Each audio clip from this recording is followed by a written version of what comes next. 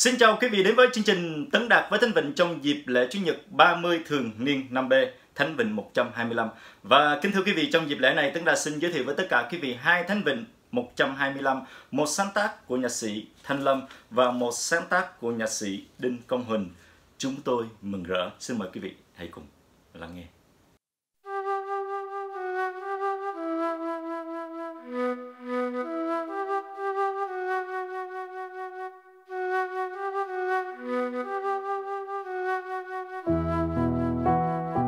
Chúa đã đối xử đại lượng với chúng con, nên chúng con mừng rỡ, hân hoan. Khi Chúa dẫn những người từ Sion bị bắt trở về, lòng ta sao ngơ ngàng, tựa chim bao một giấc mơ dài miệng cười tươi rộn rã, lòng sung sướng rạng rỡ. Lưỡi hân hoan thốt lên, muôn ngàn tiếng hoan ca vui mừng. Chúa đã đổi sự đại lượng với chúng con, nên chúng con mừng rỡ.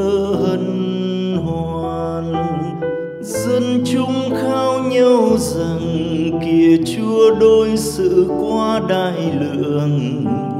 Thật chúa quá nhân từ, lòng yêu thương từ ái vô bờ. Họ hân hoan mừng rỡ, lòng tràn chứa hạnh phúc.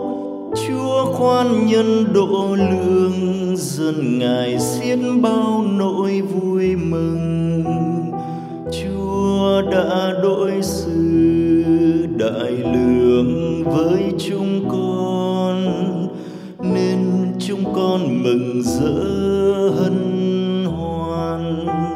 Xin chúa hãy thương tình, đổi thay cho phần số những người được chúa cứu đưa về từ Sion, vừa thoát lao tù tựa như suối cạn rau chờ cơn mưa rào tới.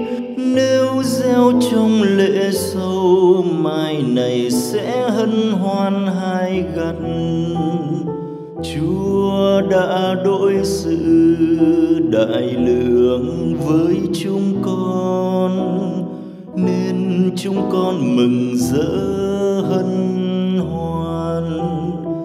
dân chung bước lên đường mà mắt đẫm lệ ướt mi sầu. Hạt thóc vãi nương đồng họ gieo trong cực khổ dai dầu. Nhiều cây đắng trồng chất ngày ra đi sầu heo. Sẽ hân hoan khi về vai nặng gánh lúa tươi thơm nồng. Chúa đã đối xử đại lượng với chúng con, nên chúng con mừng rỡ.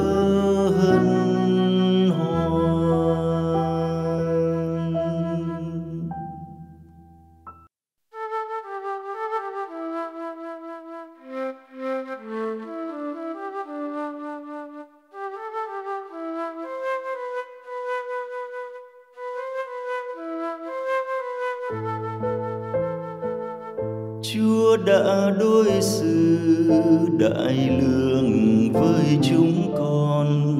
Nên chúng con mừng rỡ hân hoan. Nên chúng con mừng rỡ hân hoan. Khi Chúa dẫn tù nhân Sion trở về, ta tưởng như giấc mơ. Vang vang câu cười nói trên môi rộn rã khúc ca mừng vui.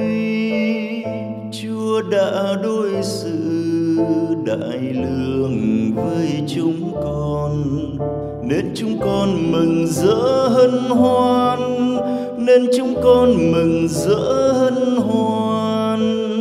Dân chúng khắp gần xa xôn xao nhỏ to, ôi việc chúa lớn lao cho ta thêm niềm vui qua bao tuyệt tác, rất vĩ đại nhường bao.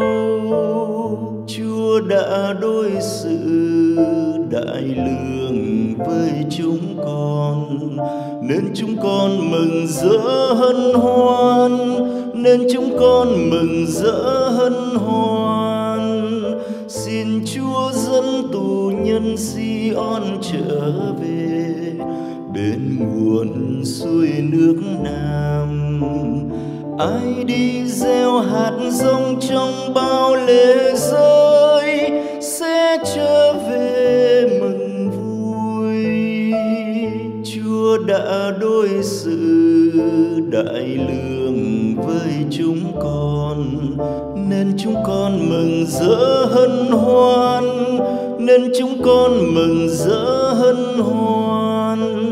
Dân chúng bước nhịp chân mang bao nỗi buồn, đem hạt rong vãi dèo mai sau khi về đến hân hoan nặng vai, những gánh lúa vàng thơm.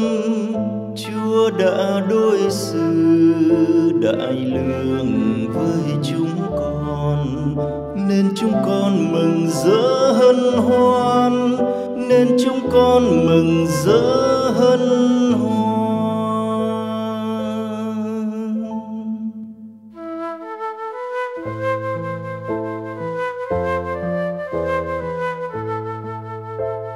Chúc tụng đức vua đấng nhân danh chúa mà đến bình an trên trời và vinh quang trên các tầng trời